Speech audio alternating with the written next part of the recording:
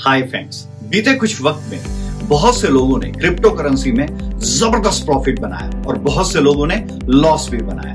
तो dear friends ऐसे कौन से पैरामीटर्स हैं जिन पैरामीटर्स को समझने के बाद हम भी क्रिप्टो करेंसी में प्रॉफिट बना सकते हैं? और अगर हमने पहले लॉस बनाया है तो आज हम उन पैरामीटर्स को जानने के बाद प्रॉफिट भी बना सकते हैं। क्या आप क्रिप्टो एक्सपर्ट हैं?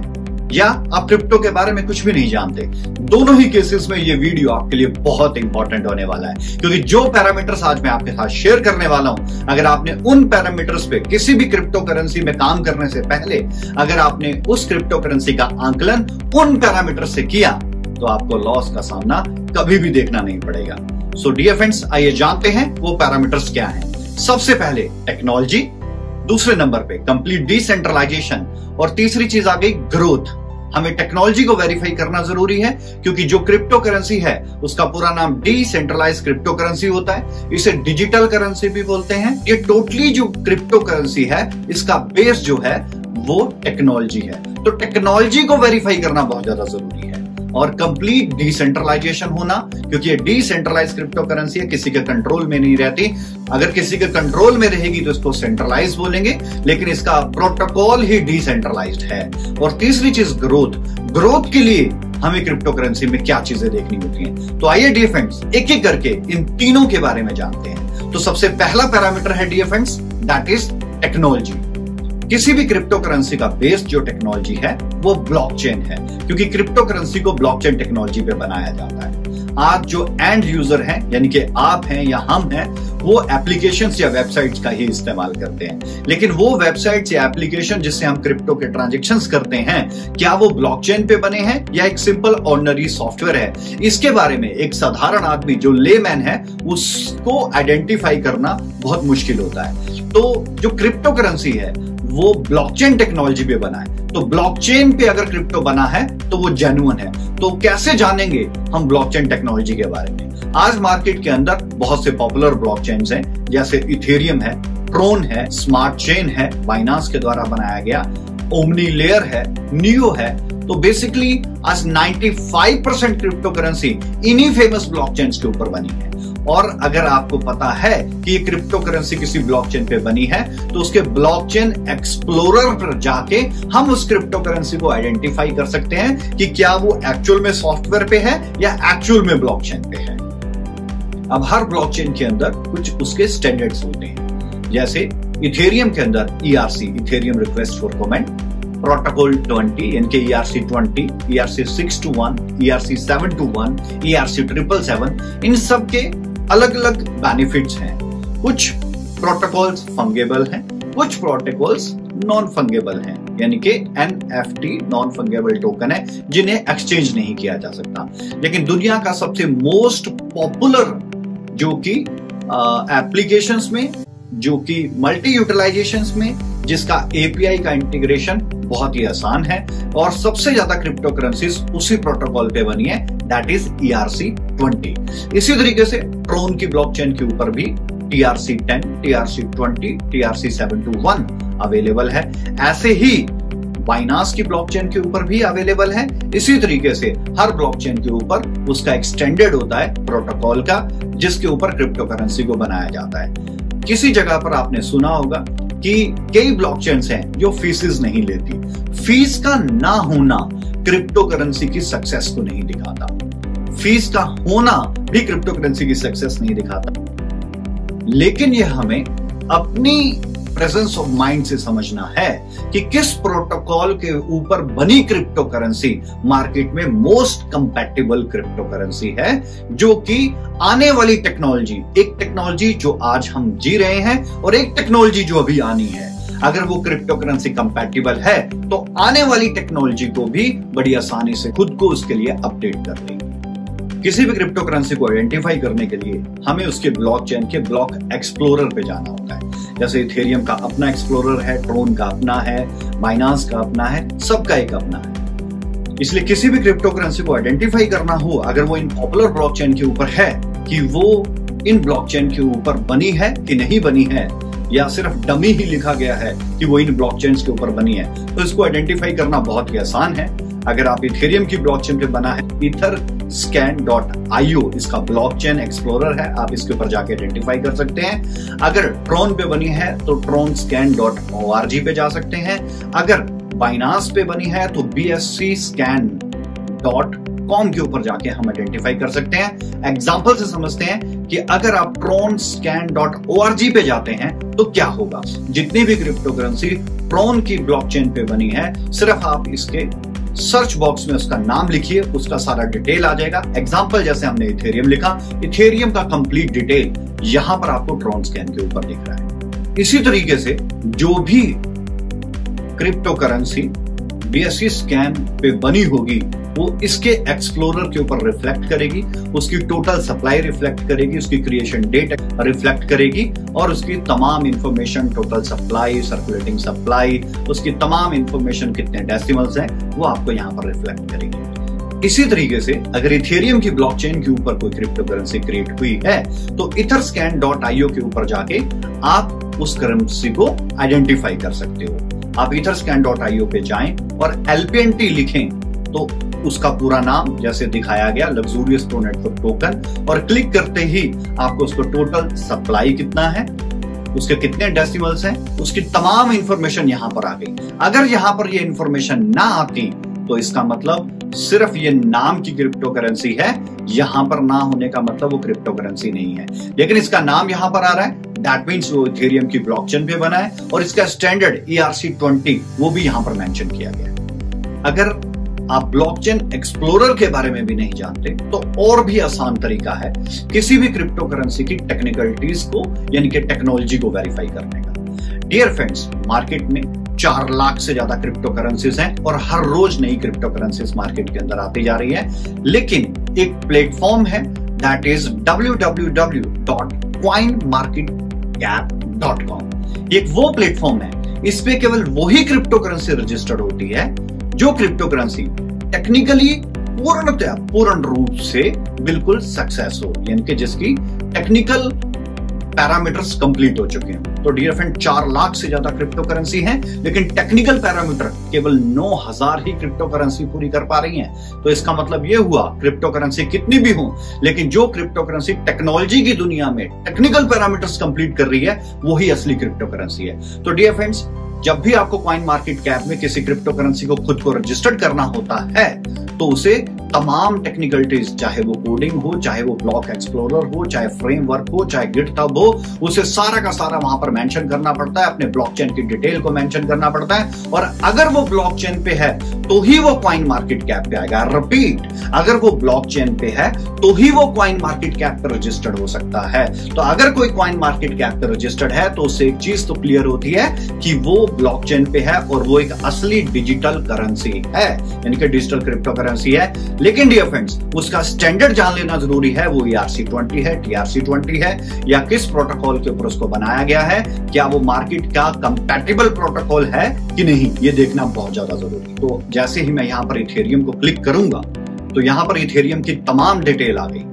डियर फ्रेंड्स एक छोटा सा मिथ्य है आईओ ये एक ब्लॉकचेन एक्सप्लोरर है इथेरियम का।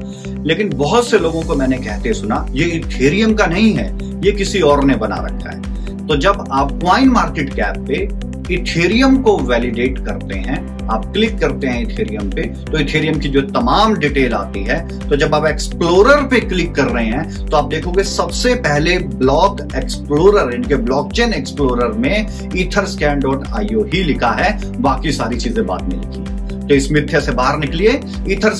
आईओ एक्चुअल में इथेरियम की ब्लॉकचेन का ही ब्लॉकचेन एक्सप्लोरर है डियर फ्रेंड्स इसी क्वाइन मार्केट कैप के ऊपर, अगर आप एलपीएनटी को वेरीफाई करते हो तो इसकी सर्च में जैसे ही आप एलपीएनटी लिखते हो तो एलपीएनटी की तमाम डिटेल आपके सामने आ जाती है।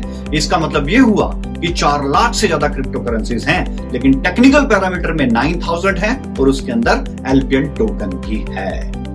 इथरस्कैन डॉट आईओ के अलावा भी इथेरियम के और ब्लॉक एक्सप्लोरर हैं, जहाँ पर आप इंफॉर्मेशन ले सकते हैं। एग्ज़ाम्पल के तौर पे E T H dot token view dot com आप यहाँ पर जाकर भी किसी टोकन की इंफॉर्मेशन ले सकते हैं, जैसे एलपीएनटी की। आप क्लिक करेंगे तो इसकी लास्ट ट्रांजेक्शन और कंप्लीट ट्रांजेक्शन की भी और पूरी सप्लाई डेसिमल्स तमाम इंफॉर्मेशन आपको यहाँ पर मिलेगी। इसके बाद ब्लॉक चेयर डॉट कॉम भी है। यहाँ पर भी आप तमाम इंफॉर्मेशन लास्ट ट्रांजेक्शन इथेरियम की ब्लॉकचेन पे बने क्रिप्टो करेंसी की चेक कर सकते हैं। इसके बाद इथ प्लोरर डॉट आईओ यहाँ पर आप कैंडल्स तक देख सकते हैं, उसकी ट्रेडिंग उसका प्राइस कितना गेन कर रहा है, कितना फॉल कर रहा है। आप तमाम इंफॉर्मेशन इटप्लोरर डॉट आईओ के ऊपर भी चेक कर सकते हैं। तो एक बात निकल के आती है, अगर क्वाइन मार्केट कैप पे और वर्ल्ड की किसी फ़ेमस एक्सचेंज के ऊपर है, दूसरी चीज़ कंप्लीट डिसेंट्रलाइजेशन जबकि करेंसी को बोला ही डिसेंट्रलाइज क्रिप्टो करेंसी जाता है तो ये कंप्लीट डिसेंट्रलाइजेशन क्या है? देखिए डियर फ्रेंड्स आज 95 percent crypto currency premined बनती हैं। जो बनने के बाद पीओएस यानी कि प्रूफ ऑफ़ स्टेक होती हैं।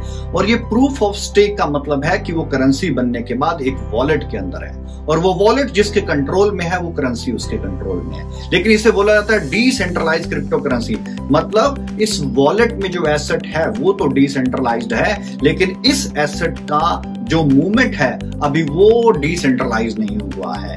तो ये डिसेंट्रलाइज कब होता है? जब ये वॉलेट किसी भी एक्सचेंज के ऊपर लिस्ट कर दिया जाता है। जब भी कोई क्रिप्टो करेंसी एक्सचेंज पे लोड हो जाती है तो वो पीओएस से पीओडब्ल्यू इनकी प्रूफ ऑफ़ वर्क बन जाती है। और एक्सचेंज पे लोड होने के बाद उसे कभी भी खरीदा जा सकता है कभी भी बेचा जा सकता है और कितनी भी क्वांटिटी में खरीदा जा सकता है और कितनी भी क्वांटिटी में बेचा जा सकता है। तो ये होता है किसी भी क्रिप्टो करेंसी का कंप्लीट डिसेंट्रलाइजेशन एसेट तो डिसेंट्रलाइज्ड है, लेकिन अभी और एक्सचेंज पर लिस्ट होने के बाद किसी के कंट्रोल में नहीं रहती तो कभी भी खरीदा जा सकता है, कभी भी बेचा जा सकता है that is the complete decentralization और एक्सचेंज पे आने का मतलब ये भी होता है कि ये ब्लॉकचेन टेक्नोलॉजी के ऊपर है और इसके टेक्निकल पैरामीटर पूरे के पूरे बेस्ट है, क्योंकि किसी एक्सचेंज पे या क्वाइन मार्केट कैप पे आने के लिए उसको तकरीबन 70 से 80 पॉइंट होते हैं जो चेकलिस्ट फॉर्म के फिल करने पड़ते हैं। और अगर वो टेक्निकल पैरामीटर्स पे बेस्ट होता है तो ही क्वाइन मार्केट कैप पे और तो ही एक्सचेंज पे लिस्ट हो पाता है। तो डियर फ्रेंड तीसरा पॉइंट आता है दैट इज़ ग्रोथ ग्रोथ के लिए हमें क्या देखना है? देखो डियर फ्रेंड्स टेक्नोलॉजी में मान लिया बहुत बेस्ट क्रिप्टो करेंसी बनी है।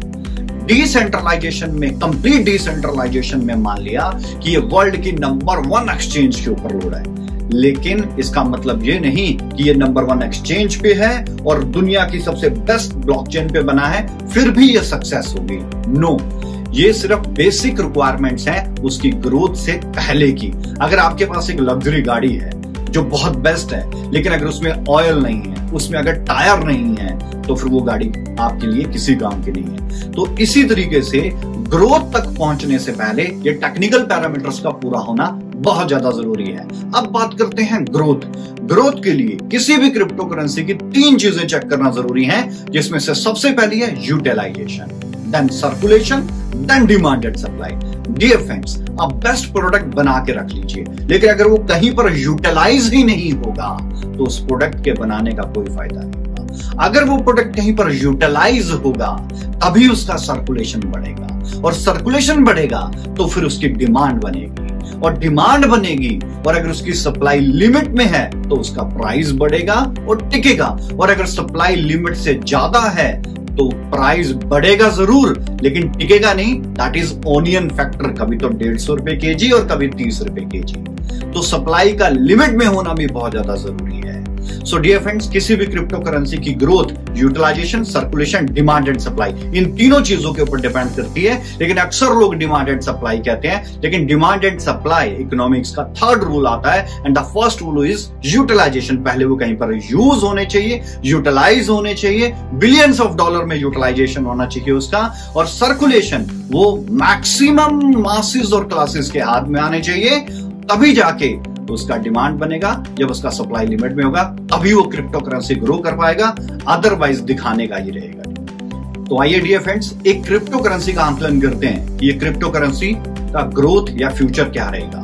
जिस क्रिप्टो करेंसी का नाम है LPN token that is Luxurious Pro Network token so dear friends इसको भी हम तीन पैरामीटर्स के ऊपर वेरीफाई करते हैं। सबसे पहले technology then complete decentralisation and third utilisation circulation and demand and supply यानी कि ग्रोथ कैसे होगी उसकी?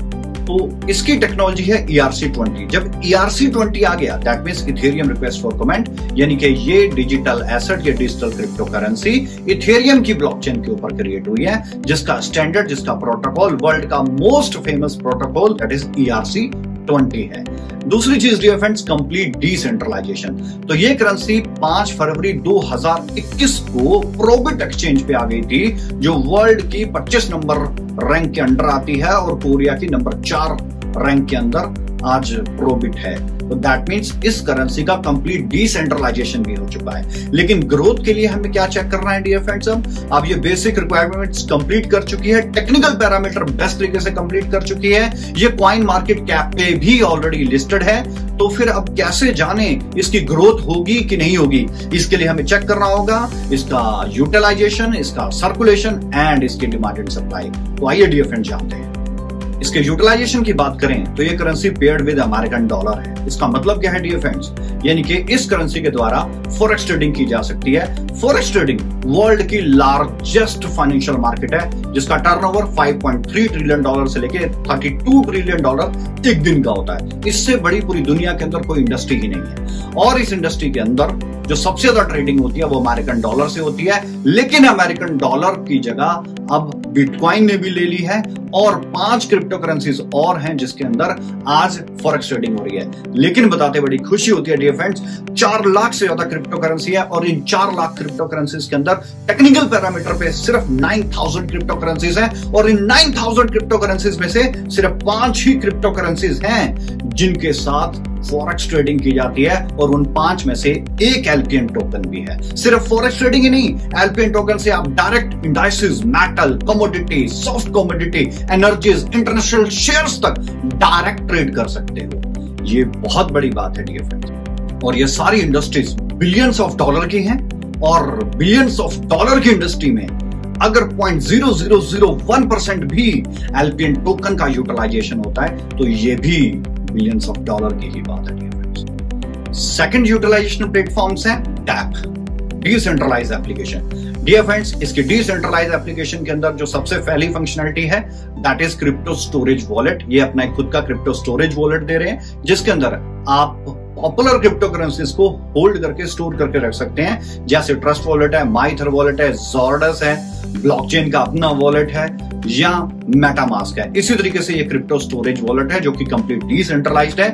इसकी सेकंड फंक्शनलिटी है दैट इज़ इसके अंदर स्टेकिंग प्लेटफॉर्म भी इसी की डैप के अंदर है, जिसके अंदर आप एलपीएन टोकन की भी स्टेकिंग कर सकते हो बिटकॉइन इथेरियम की भी स्टेकिंग कर सकते हो।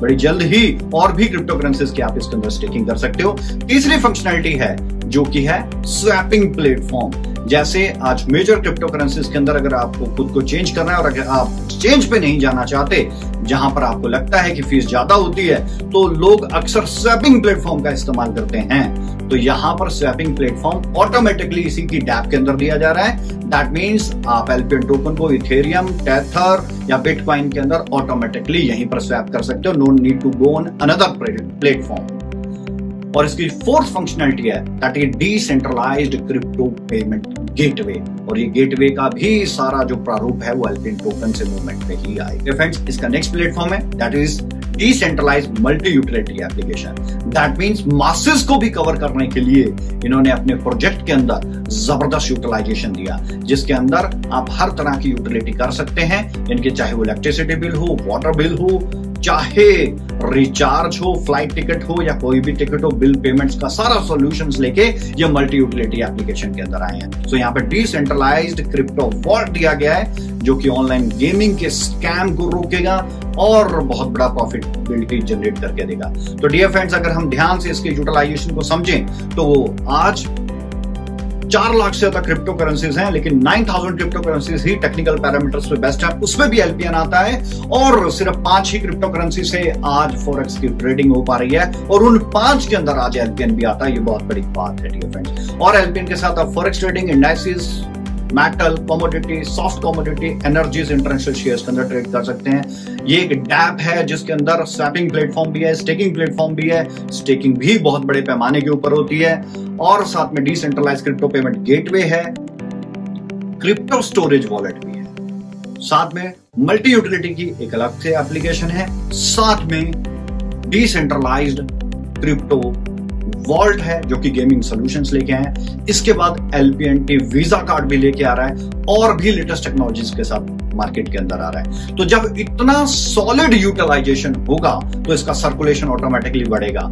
और अगर इसकी सप्लाई लिमिट में रहेगी तो इसके प्राइस को बढ़ने से कोई नहीं रोक सकता डियर फ्रेंड्स तो आइए फ्रेंड्स जानते हैं इसकी डिमांड एंड सप्लाई इनके सप्लाई कितनी है? इनकी टोटल सप्लाई 80 मिलियन है, यानी कि 8 करोड़ है, जिसमें से 4 करोड़ एक्सचेंज के लिए रखे हैं 1 करोड़ आईसीयू के लिए और 2 करोड़ 10 लाख अपनी कम्युनिटी के लिए and remaining rest is ecosystem के डेवलपमेंट के लिए। तो एक्सचेंज के लिए 4 करोड़ है दैट मींस लिमिटेड ही सप्लाई है और इतना बड़ा यूटिलाइजेशन है, और सर्कुलेशन बढ़ता जा रहा है तो इसका प्राइस भी ऑटोमेटिकली ग्रो करेगा ही करेगा। टोकन एलोकेशन बहुत ही ज़्यादा स्ट्रॉन्ग है, जो कि एक ऑर्गेनिक और जेनुअन लगती है, जिसकी वजह से टोकन ग्रो करते होते हैं। So these words thank you so much dear friends last तक बने रहने के लिए बहुत बहुत शुक्रिया. Thank you so much